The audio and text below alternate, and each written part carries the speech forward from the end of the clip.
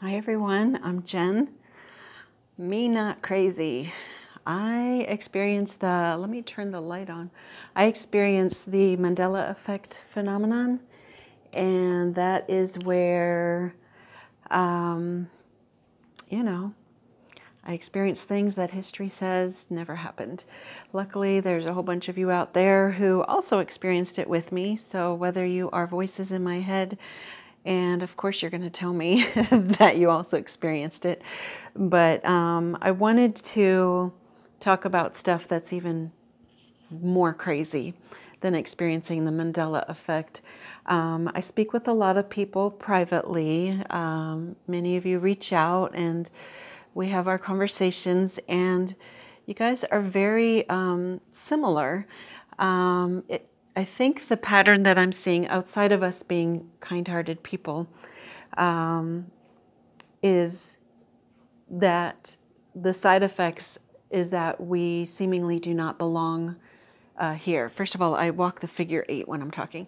Um, that we seemingly don't belong here. So some of us would rather be the hammer than the nail. So there are many, uh, you know, bad boys out there uh, with criminal backgrounds and whatever, but it's because, um, you know, you did not want to conform to what is over here.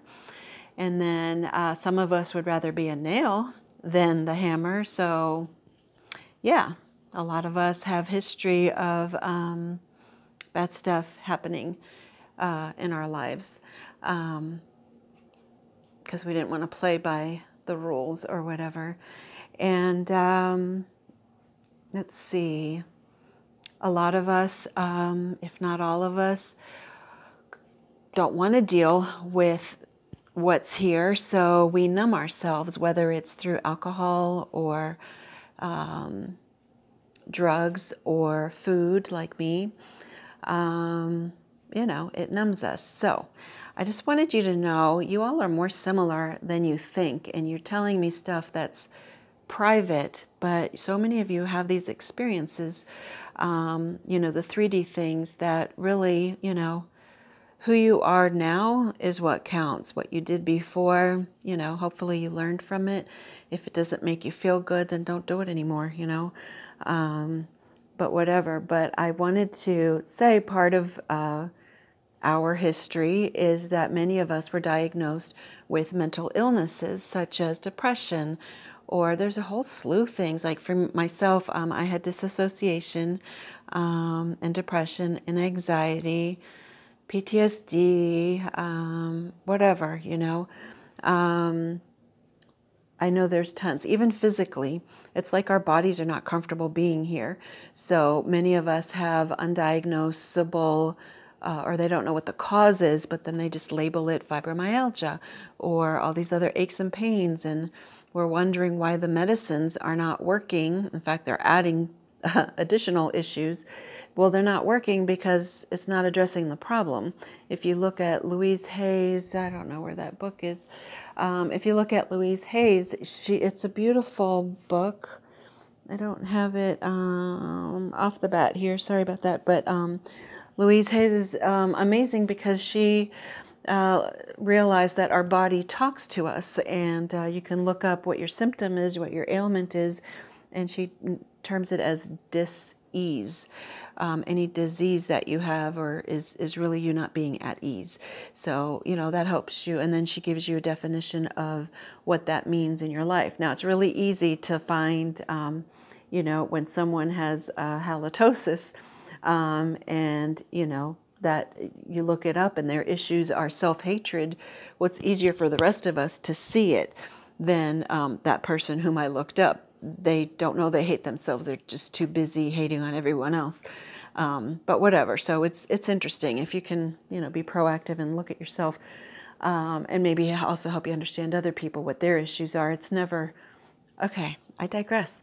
I'm here to talk about me not crazy. So I want to tell you that yes, I'm diagnosed with um, you know certain uh, you know I was depressed and whatever, but um, back in 2015, after the home invasion, And after uh, finally all these trips to the hospital regarding my heart, and they wanted to, um, what is that vein called? By your thigh or your here or your wrist. If you slice it, it could be like it could kill you. Well, they wanted to go in that into my wrist to figure out what was wrong with my heart, you know, when it was on the left. And uh, whatever. Now I'm thinking, because I still to this day um, feel when the um, when the body changes, I will feel it. I will feel this growing. I will feel the hole that you could you used to only put your finger in, your pinky in. Um, like I can feel the symptoms. So I think that's what was going on. I just didn't know about the Mandela effect then. Um, but whatever. So you know, I didn't even call the um, 911 anymore. I would, if I would go um, to the emergency room, I would go to the, um, I would just drive. Well, after the home invaders, um, I, and they were living upstairs in my attic space, and it turns out that my roommate was letting them in.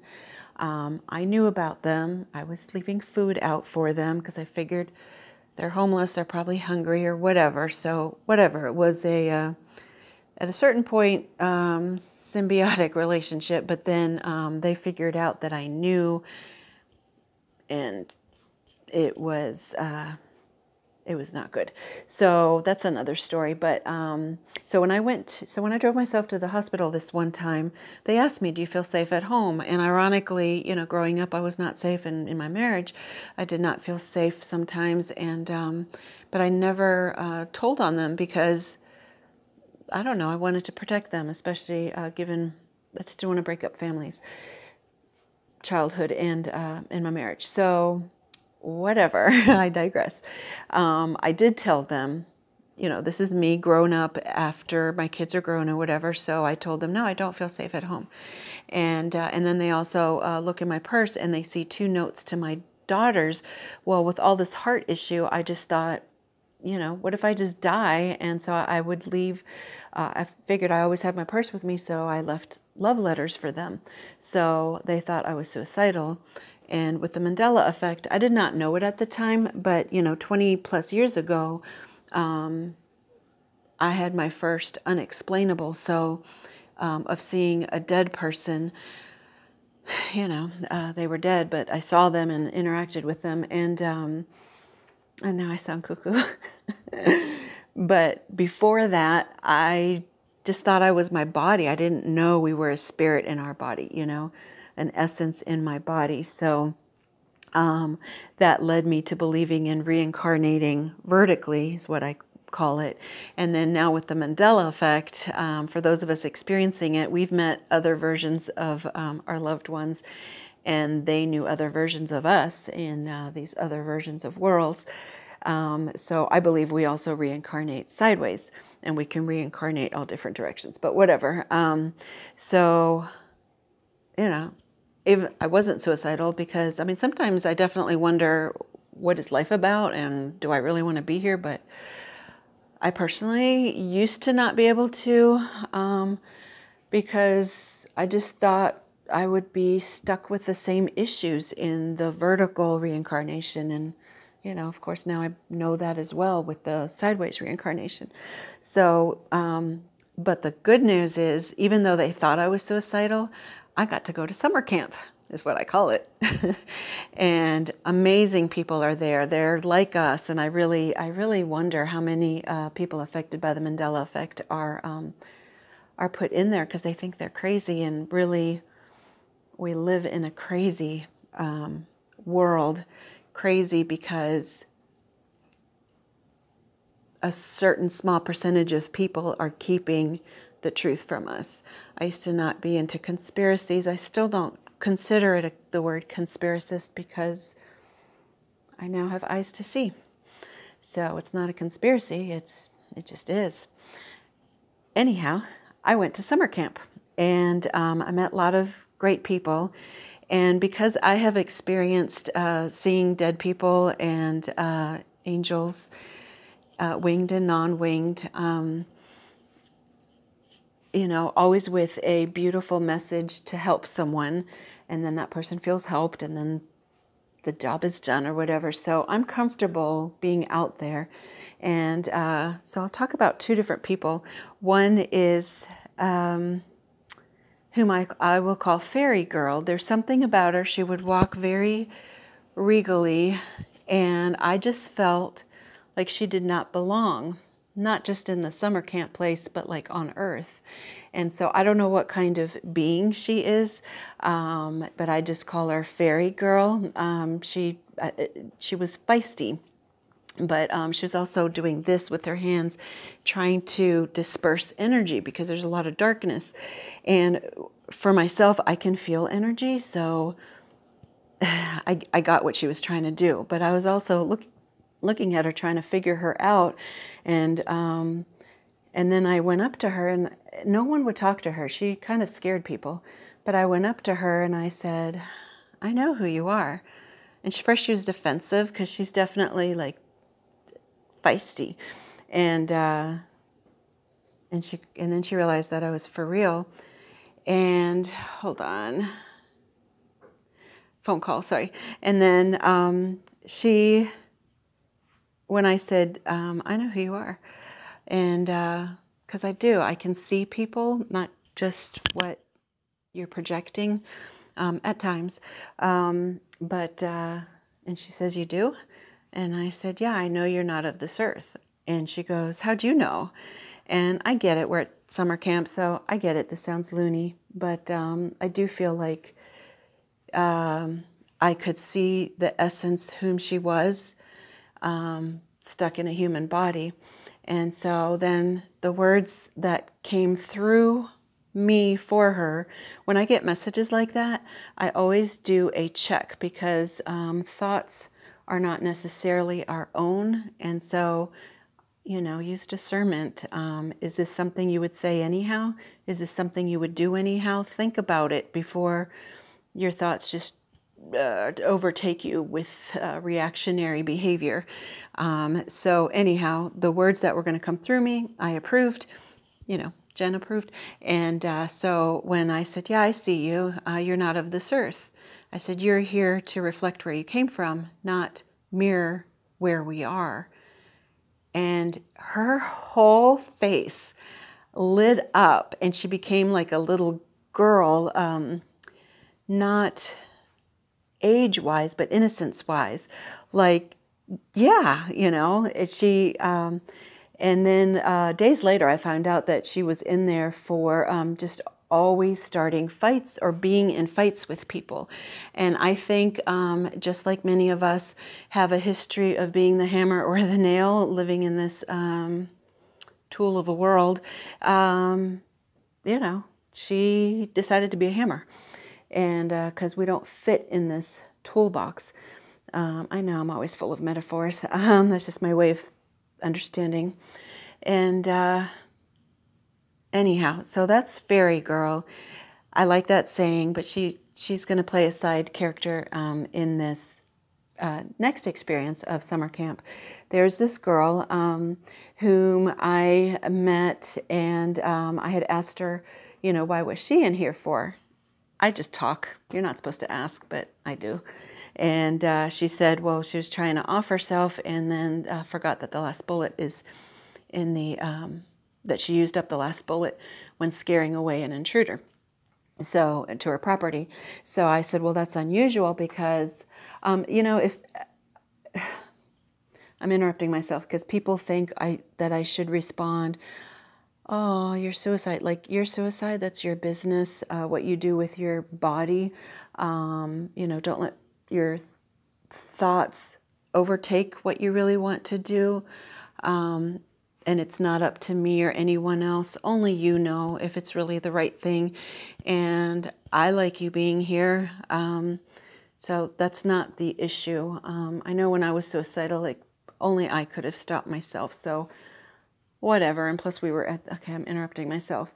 So, my response is not to address the fact that she wanted suicide. My response was interesting because most females um, take the, the, easier way out, the indirect, softer way of pills or whatever.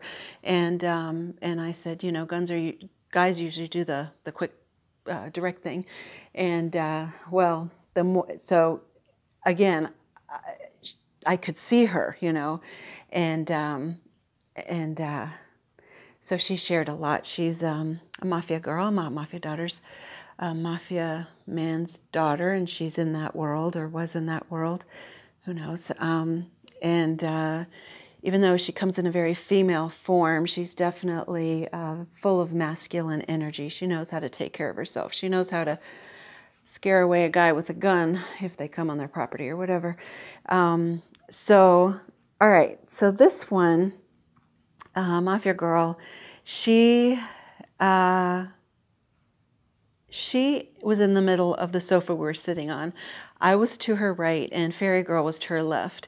And you know, we're at summer camp, and um, one of the rules is you don't touch other people. I'm sure to prevent bad stuff, but whatever, you know, add sleep, uh, not sleep, add touch deprivation to our list of what our ailments are. And uh, anyhow, she's like, I just want a hug. And so I told her, I said, Well, you know, one of my things Here's another weird thing about me is that at times I can give a hug without touching. And uh, she's like, What? And so um, she's very much in touch with the um, earthly ways. And, uh, and so, but I looked over at Fairy Girl. I'm like, You know what I'm talking about, don't you? And she's just like, And I said, and I asked uh, Mafia Girl, I said, Do you want um, us to give you a hug? And so she's, she was so desperate for a hug, she said yes. She wasn't even weirded out by our woo woo stuff.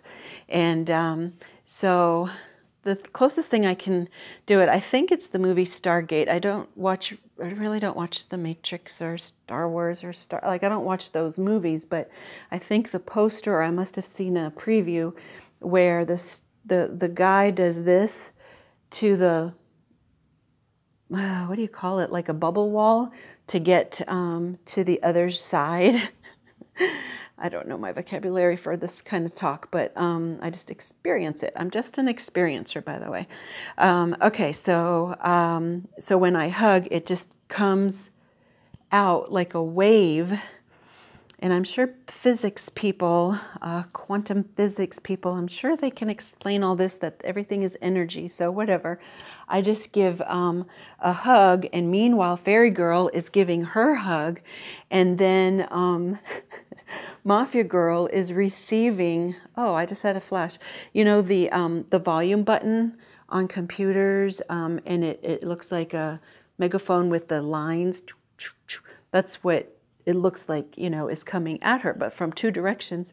And then all of a sudden the mafia girl goes, Ugh, like that, because it was too powerful, she said later.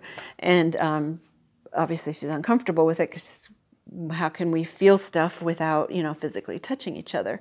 So that weirded her out. And she's like, what was that? And so I explained to her, but I also apologized because I'd never done it with a, you know, second person. And then I asked her, I said, would you like one just with me. And so after she calmed down and heard my explanation, she's like, okay. And then, uh, so I then face her more, and um, then only I give her that virtual hug. And usually there's resistance with people. And so, you know, if you really don't want the hug, it's not going to happen. Um, but, but I went like this. Ugh. Now, it wasn't my physical body, it was. Um, was it my essence? Was it my energy? I don't know. You quantum physics people can explain that. But um, so I, I just like fell into her little bubble because I think each of us have a bubble around us, and it's up to us with our free will to decide: um, Are we going to let um, Facebook, mm, the news, our family, school system, are we going to let them decide what our bubble looks like or what? Okay, I'm not going to get into that. So there I am. I fell into her bubble and then I felt hugged. And I was like, Are you hugging me too? and she was just like, Yes. And so we were both hugging without touching. And uh, it was lovely. it was lovely. Why is it taken away from us? Why are we being programmed and taught that we cannot receive seemingly physical TLC without the physicality of it? But anyhow, it went on with her. She and I were um, kind of played with each other. Um, I guess because she had, you know, she played with me by giving me a hug without asking me for permission. Um, you know, we did other things where uh, later that afternoon she was across the conference room at summer camp and uh, she was kneeling on a chair facing the other way. And I thought, I'll play with her since she played with me. I'm like, turn around, turn around, turn around. And she didn't turn around. So then I'm just doing my stuff and talking to people near me. And then I'd be like, turn around, turn around, turn around. Nothing, nothing, nothing, turn around, turn around. I'm like, it's not working. It, I did it several times. And then uh, she was uh, plopped herself next to me um, on the sofa. She goes, Why didn't you turn around? I'm like, What? I was trying to make you turn around. In fact, I was a little irritated at it. So she explained she was actually playing the same game. We didn't know we were playing, like, we never talked about playing this game. So we each came up with it on our own. That's another rabbit hole to go down to if it really is on our own. Um, it's just we were doing it on opposite times. So that was fun. I also told her about how if you rub your ears and you look at the person, you can make that person like touch their ear. And um, this said, it's like people, maybe we're awake because we're the ones that would not misuse the power to hurt others. So whoever's listening to this, if you if you're like thinking, ah, I can do this to hurt people, like no, no.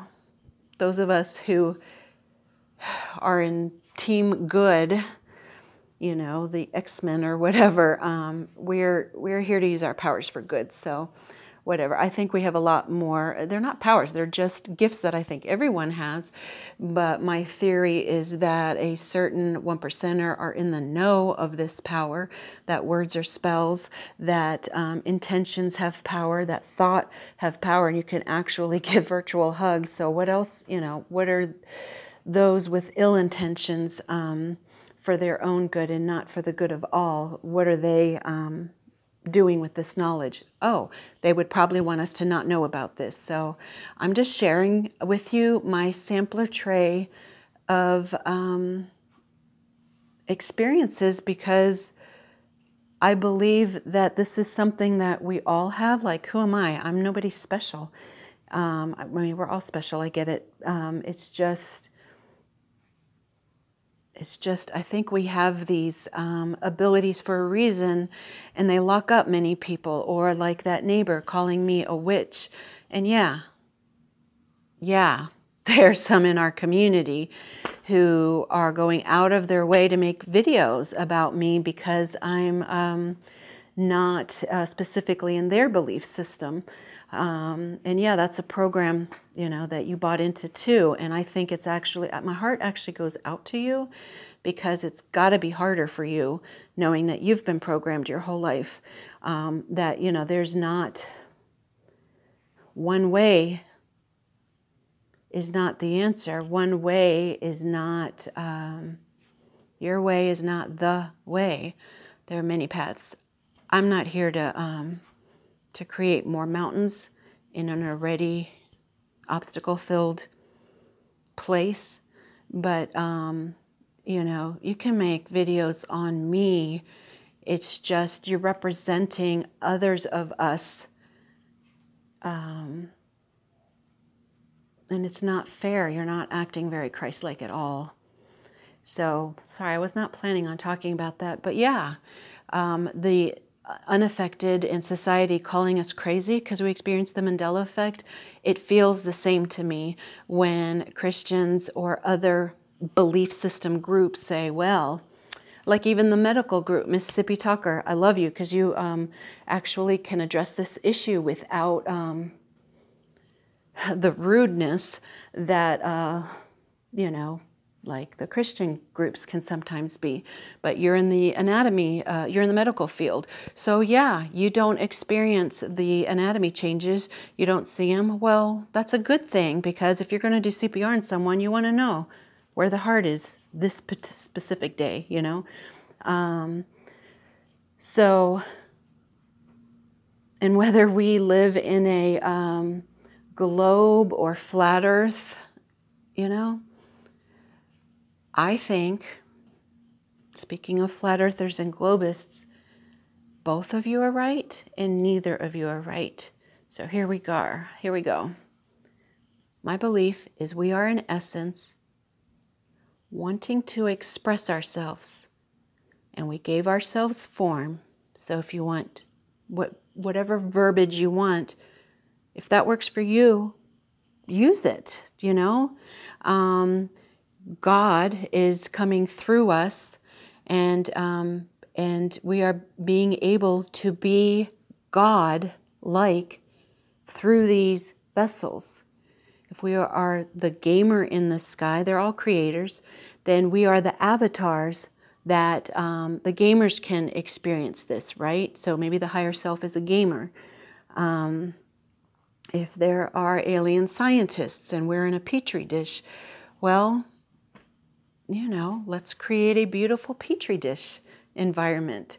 Um, it doesn't matter, for my opinion, uh, where we are, what our world looks like, what vocabulary, what, um, you know, um, you have to uh, be able to, to, you can only believe this and nothing else is valid. It's like if that belief system works for you, then that is the world you live in. I believe we are one essence expressing ourselves through multiple. Uh, the kids just got out um, the school bus. Um, we are one essence expressing ourselves through multiple experiences in the here now. The here now, there is no time. We are everything and nothing. We are everywhere and nowhere. And guess what? Nowhere, speaking of spells, is now here. When we are nowhere, we are still here. We are now here. So our now here can look differently depending on how God or the creator or our higher selves or the alien scientist wants us to live. Um, you know, so, um, and guess what? There are many worlds in this one earth, and this earth is housing the many worlds. And um, the earth can uh, look differently for different people. Um, our costumes look different for different people, the avatars, the God creations, you know. Um, okay, so I'm kind of rambling, but I do get Mama Bearish when um, you make um, a video about me because of my beliefs. You're not being kind. You're just not being kind. And no, that's not what Jesus would do. He loved everybody and and I love you and I get it. That works for you. So so be what Jesus was and is. Actually be that. Spend time loving a person and not um, deeming them crazy. Me not crazy, and neither are you. Your your belief system is real. Uh, my belief system is real. Um, we've been programmed to have certain belief systems. I think uh, our society was hijacked and so that certain people could benefit. Yeah, the heads of your um, certain groups' belief systems too. So um, let there be peace on earth while we are here expressing our Creator's essence. And you're not crazy either. I love you.